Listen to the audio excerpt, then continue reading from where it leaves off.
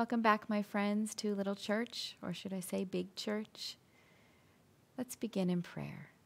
Let's touch our foreheads in the name of the Father, and of the Son, and of the Holy Spirit. Amen. God, our King, you call us to share your life and be happy with you forever. Do not let us be deaf to your voice by our selfishness. Guide us along the path of love so that one day we will be worthy to be with you at heaven's great family meal, and with Jesus, your Son, who lives with you forever and ever. Amen. In the name of the Father, and of the Son, and of the Holy Spirit. Well, welcome back, boys and girls. Rufus is back with us today, and this time he's brought a balloon. I wonder why he's brought a balloon. I think he wants us to talk about the readings today. And both readings talk about a celebration, a banquet, or a big party. So I'd like you for a minute, if you're comfortable, to close your eyes and see if you can picture a huge birthday party or celebration. What was the food that was served? Can you picture the decorations and all the colors? Who was there? Okay, you can go ahead and open your eyes now. I want you to remember that image. We'll talk more about it in a few minutes. But let's read from Isaiah, the same prophet from last week. Isaiah said to the people, God is going to give a big banquet, a feast with all kinds of good food.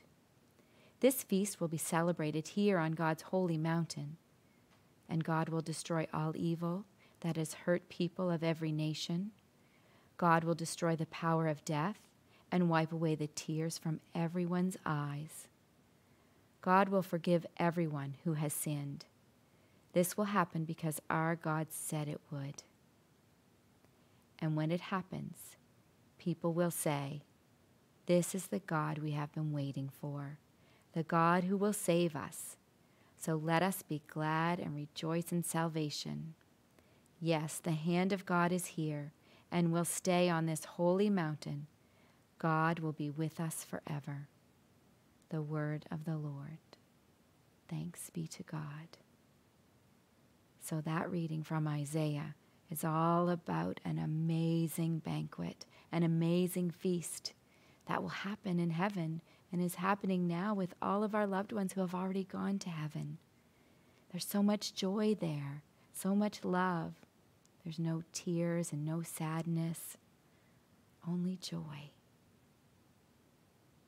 And our gospel reading, it talks about a banquet as well. Only this banquet is happening on earth now. So let's read it from the Gospel of Matthew. One day, Jesus told this story to the chief priests and leaders. Once there was a king who gave a big feast for his son's wedding. But when the servants went to get all the people who were invited, they wouldn't come. So the king said to the servants, Go and tell them that the feast is ready, and I have prepared a wonderful dinner for them. Everything is ready. Come to the feast. But the people who were invited didn't care. They stayed home and took care of their farms and businesses some of them hurt and even killed the servants who came to tell them that it was time to come. The king was angry, and he sent his soldiers to punish those people.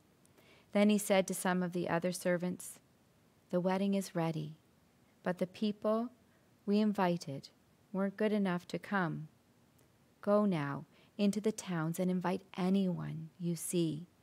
So the servants went out and invited everyone good people and bad people, and soon the wedding hall was filled with people. The gospel of the Lord. So, this banquet that Jesus talks about happens every Sunday for sure, and sometimes every day. And Jesus is talking about the Mass. So, when we go to church and we attend that service, that Mass. It is so spectacular. Sometimes we go and it might seem a little boring, but I promise you, the miracles that are happening that we can't see are so magnificent. They're like to remember that birthday party or that celebration you closed your eyes and pictured. Well, this banquet is even more glorious, even more spectacular. So, going to Mass is a beautiful thing, and God is calling us to do that. So, if that's possible, and I know you're too young to take yourself, but when you go there, try to imagine it as a beautiful feast, a beautiful banquet, where we receive God's love in His Son Jesus. All right, we'll close now with our prayer. Let's bless ourselves again in the name of the Father, and of the Son, and of the Holy Spirit. Dear God, my Father, who loves me so much, thank you for inviting me to your party in heaven and to your party here on earth at Mass. I want to come to your feast.